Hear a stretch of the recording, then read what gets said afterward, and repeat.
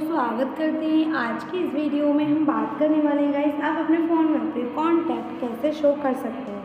तो guys video में simple simple step है। आपको नो फॉलो करके आप अपने फ़ोन में अपने कॉन्टैक्ट शो कर सकते हैं।